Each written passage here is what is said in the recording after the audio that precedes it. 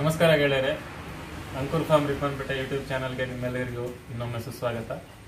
ಇವತ್ತಿನ ವಿಡಿಯೋದಲ್ಲಿ ಈ ವರ್ಷದ ಎರಡು ಸಾವಿರದ ಇಪ್ಪತ್ತೊಂದನೇ ಇಸ್ವಿಯ ನಮ್ಮಲ್ಲಿ ಆದ ಪ್ರಥಮ ಕೆಂಪು ರುದ್ರಾಕ್ಷಿ ಹಲಸಿನ ಬಗ್ಗೆ ನಿಮಗೆ ಕೊಯ್ದು ಒಳಗಡೆ ಅರೇಂಜ್ಮೆಂಟ್ಸ್ ಎಲ್ಲ ತೋರಿಸ್ತೇನೆ.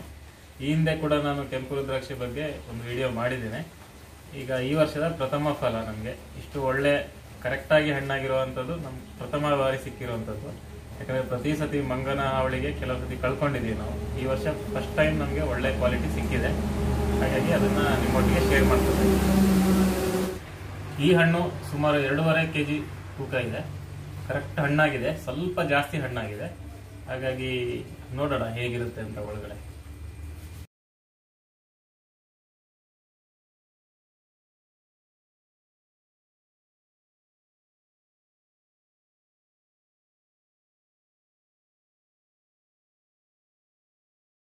ನಾನಿದರ ಔಟರ್ ಚರ್ಮ ಮಾತ್ರ ತೆಗೆದಿದ್ದೀನಿ. ಔಟರ್ ಲೇಯರ್ ಮಾತ್ರ ತೆಗೆದಿದ್ದೀನಿ. ನಿಮ್ಗೆ ಔಟರ್ ಲೇಯರ್ ಇದರಲ್ಲಿ ಕಾಣ್ತಾ ಇದೆ ನೋಡಿ, ಎಷ್ಟು ಥಿನ್ ಇದೆ ಇದು. ಕಾಣ್ತಾ ಇದೆಯಲ್ಲ ಇದು? ಔಟರ್ ಕ್ರಸ್ಟ್ ಏನಿದೆ ಔಟರ್ ಲೇಯರ್ ಭಾಳ ಥಿನ್ ಇದೆ. ಮತ್ತು ಈ ರುದ್ರಾಕ್ಷಿಲಿ ಸ್ಪೆಷಾಲಿಟಿ ಅಂದರೆ ನಿಮ್ಗೆ ಹೈಯೆಸ್ಟ್ ರಿಕವರಿ ಇರುತ್ತೆ. ಅಂದರೆ ನಿಮ್ಮ ಬಲ್ಬ್ ಡೆನ್ಸಿಟಿ ಅಥವಾ ಫಿಲ್ಲಿಂಗ್ ಅಂತ ಏನು ಹೇಳ್ತೀವಿ, ತುಂಬ ಟೈಟ್ಲಿ ಪ್ಯಾಕ್ಡ್ ಒಂದಕ್ಕೊಂದು ಒತ್ತೊತ್ತಾಗಿ ಈ ಥರ ಸೊಳೆಗಳು ಅಂಟ್ಕೊಂಡಿದೆ. ವೇಸ್ಟೇಜ್ ಅನ್ನೋದೇ ಇಲ್ಲ ಆಲ್ಮೋಸ್ಟ್ ಮತ್ತು ನಿಮಗೆ ಇಷ್ಟು ಸಣ್ಣ ಒಂದು ಇದು two kilo two and half kilo ಸೈಜಿನ ಒಂದು ಹಣ್ಣಲ್ಲಿ ನಿಮ್ಗೆ ಆಲ್ಮೋಸ್ಟ್ ಒಂದು ಫಾರ್ಟಿ ಫಿಫ್ಟಿ ಬಲ್ಬ್ ಸಿಗುತ್ತೆ. ಒಂದು ಐವತ್ತು ಸೊಳೆ ಸಿಗುತ್ತೆ ನಿಮಗೆ. ಸೊ ತುಂಬ, ಅಂದರೆ ನೀವು ಪರ್ ಕಿಲೋ ಅದರ ರಿಕವರಿ ರೇಟ್ ನೋಡಿದರೆ ತುಂಬ ಇರುತ್ತೆ ಹೈಯೆಸ್ಟ್ ಇರುತ್ತೆ ರುದ್ರಾಕ್ಷಿಗಳಲ್ಲಿ. ಅದರಲ್ಲಿ ಕೂಡ ಈ ಕೆಂಪು ರುದ್ರಾಕ್ಷಿ ಅನ್ನೋದು ಭಾಳ ಯುನೀಕ್ ಇದು. ಇದು only one tree has been taste till ನಾವು ಅಂದರೆ ನಮ್ಮ ಹಳದಿ ರುದ್, ಈ ರುದ್ರಾಕ್ಷಿಗಳಲ್ಲಿ ಎರಡು ಥರ ಇದೆ. ನಾನು ಮುಂಚೆ ವಿಡಿಯೋದಲ್ಲಿ ಹೇಳಿದಾಗೆ. ಹಳದಿ ರುದ್ರಾಕ್ಷಿ ಮತ್ತು ಕೆಂಪು ರುದ್ರಾಕ್ಷಿ ಅಂತ. ಹಳದಿ ರುದ್ರಾಕ್ಷಿ ಸ್ವಲ್ಪ ಕಾಮನ್ ನಮ್ಮ ಈ ಪಶ್ಚಿಮ ಘಟ್ಟದ ಕೆಲವೊಂದು ಕಾಡುಗಳೆಲ್ಲ ಸಿಗುತ್ತೆ. ನ್ಯಾಚುರಲ್ ಆಗಿ ಇವಾಲ್ವ್ ಆಗಿರುವಂಥದ್ದು. ಆದರೆ ರೆಡ್ ರುದ್ರಾಕ್ಷಿ ಮಾತ್ರ ನಾವು ಇಷ್ಟು ವರ್ಷ ಟ್ರೇಸ್ ಮಾಡಿದ್ರಲ್ಲಿ ನಮ್ಗೆ ಒಂದೇ ಒಂದು ಮರ ಸಿಕ್ಕಿರೋದು. ಸೊ ಇದೊಂದೇ ತಳಿ. ಹಾಗಾಗಿ ಭಾಳ ಯುನೀಕ್ ಇದು. ನಮ್ಮ ವೆಸ್ಟರ್ನ್ ಘಾಟ್ಸಿನ ಒಂದು ಒಂದು ಸ್ವತ್ತು, ಒಂದು ಆ್ಯಸೆಟ್ ಅಂತ ಹೇಳ್ಬೋದು. ಸೊ ಇದು ಇದರ ಫಿಲ್ಲಿಂಗ್ ಈಗ ನೋಡಿದ್ರಲ್ಲ? ನಿಮಗೆ ಇದರ ಈಗ ಒಳಗಡೆ ಕಟ್ ಮಾಡಿ ಕ್ರಾಸ್ ಸೆಕ್ಷನ್ ತೋರಿಸ್ತೀನಿ. ಅದು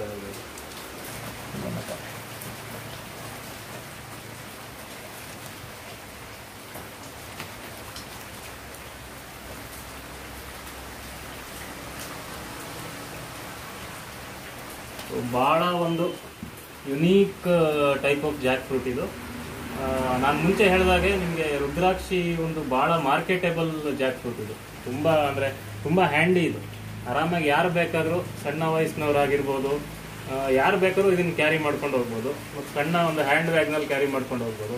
ಮತ್ತು ನಿಮ್ಮ ಫ್ಯಾಮಿಲಿಯ ಸೈಜ್ಗೆ ಅನುಗುಣವಾಗಿ ಈಗ just two or three members ಇರೋ ಫ್ಯಾಮಿಲಿಗೆ ಒಂದು ಸಿಂಗಲ್ ಫ್ರೂಟ್ ಸಾಕಾಗತ್ತೆ ನಿಮಗೆ ಯೂಸ್ ಮಾಡೋಕ್ಕೆ. ಮತ್ತೆ ಕಟ್ ಮಾಡೋದು ಅಷ್ಟೇ, ಒಂದು ಸಣ್ಣ ಕಿಚನ್ ನೈಫಿಂದ ಕಟ್ ಮಾಡ್ಬೋದು.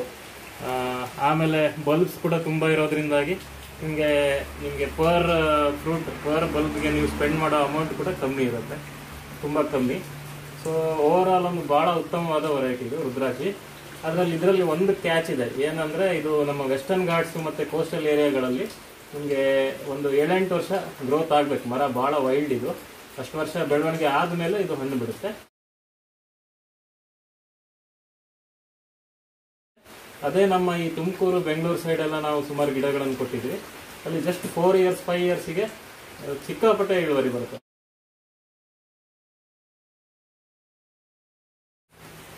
ಸೊ ಒಂದು ರೈತರಿಗೆ ಒಂದು ಉತ್ತಮ ಆದಾಯ ತಂದುಕೊಡುವಂತ ಆ, ಒಂದು ವೆರೈಟಿ ಪ್ಲಸ್ ನಿಮಗೆ ಮಾರ್ಕೆಟ್ನಲ್ಲಿ ಎಲ್ಲರ ಗಮನ ಸೆಳೆಯುವಂತ ಒಂದು ಹಣ್ಣಿದು. ಈ ಇಷ್ಟು ಕಲರ್ ಬರುವ ಕೆಂಪು ಸೊಳೆಯ ರುದ್ರಾಕ್ಷಿ ಬೇರೆ ಎಲ್ಲೂ ಇಲ್ಲ.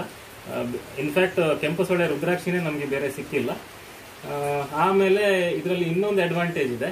ಇದು ಸಣ್ಣ ಹಣ್ಣು ಇರುವ ಕಾರಣ, ಅಂದ್ರೆ ಸಣ್ಣ ಸೈಜ್ ಸ್ಮಾಲ್ ಸೈಜ್ ಫ್ರೂಟ್ಸ್ ಇರೋ ಕಾರಣ, ಇದನ್ನ ನೀವು as a source of timber ಕೂಡ ಬೆಳೆಸ್ಬೋದು. ಸ್ವಲ್ಪ ಹೈ ಡೆನ್ಸಿಟಿ ಮಾಡಿ, ಸ್ವಲ್ಪ ವರ್ಟಿಕಲ್ ಗ್ರೋತ್ ಜಾಸ್ತಿ ಬರೋ ಹಾಗೆ ಸಿಂಗಲ್ ಟ್ರಂಕ್ ಹೋಗಿ ಆಮೇಲೆ ಬ್ರಾಂಚ್ ಔಟ್ ಆಗೋಗಿ ಮಾಡ್ಕೊಂಡ್ರೆ ನಿಮಗೆ ಫ್ಯೂಚರ್ ಅಲ್ಲಿ ಒಂದು ದೊಡ್ಡ ಆಸೆಟ್ ಆಗುತ್ತೆ. ಅಂದ್ರೆ ನಿಮ್ಮ as a source of timber ಕೂಡ ಆಗುತ್ತೆ, ಇದ್ರ ಟ್ರೀ ಪ್ಲಸ್ ಇದರ ಲೈಫ್ ಲಾಂಗ್ ಇದು ನಿಮಗೆ ಈಲ್ಡ್ ಕೊಡ್ತಾ ಇರೋದು ಸೊ ಇದು ಒಂಥರ ಡ್ಯುಯಲ್ ಪರ್ಪಸ್ ಕ್ರಾಪ್ ಅಂತ ಹೇಳ್ಬೋದು. ಒಂದು as a source of timber after thirty or forty years ಮತ್ತೆ ನಲ್ವತ್ತು ವರ್ಷ ಆಗುವವರೆಗೆ ನಿಮಗೆ ಕಂಟಿನ್ಯೂಸ್ ನಿಮಗೆ ಫ್ರೂಟ್ಸ್ ಕೊಡ್ತಾ ಇರುತ್ತೆ.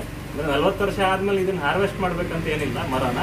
ನಿಮ್ಗೆ ಇಷ್ಟು ಯುನೀಕ್ ಫ್ರೂಟ್ ಸಿಗೋದು ಬಹಳ ಕಷ್ಟ, ಬೇರೆ ಇದು ಕೂಡ.